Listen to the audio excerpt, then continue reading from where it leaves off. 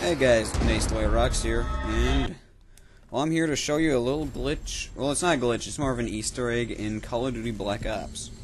First of all, take your right stick and you can just move it around, which I thought that was kind of cool. You said it was Cuba. Then if you look at your hands, What happened in Cuba? just click the left trigger and right trigger, and you can actually release yourself.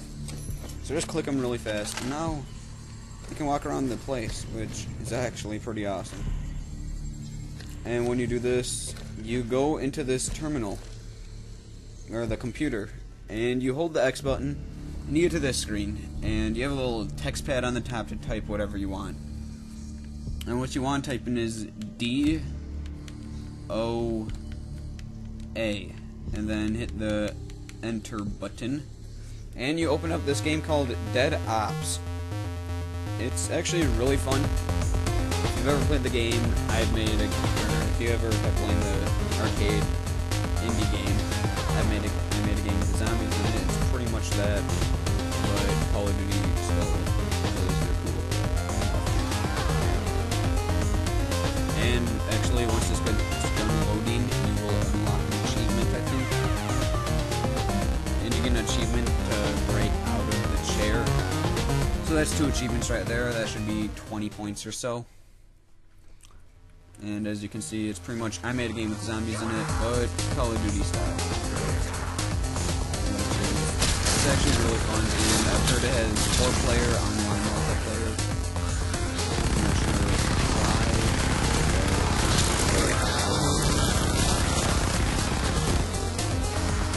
Uh, that's one of the achievements, and it's actually really fun.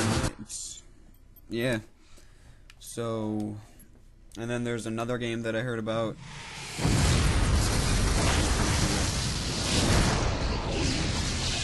If I can get there.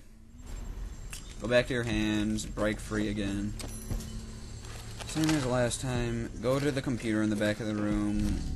Hold X to use computer and type in Z O R K. Z.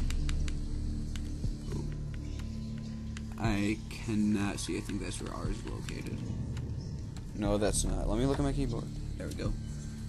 I'm playing on like a two inch screen right now, so it's kind of hard to see what's happening. Z O R K for Zork. And this is the game. It's a text RPG style. It's really dumb and it's not fun at all. Although I found the first step on what to do, I think you open the mailbox and then you obtain a leaf. And I'm not even gonna type it in, but yeah. So, right there, you'll get 35G worth of achievements. Pretty cool Easter egg that they put in the game. It's actually pretty fun. Uh, there might be more games at the arcade. I have no idea. But hope you guys enjoy this and comment, rate, and subscribe.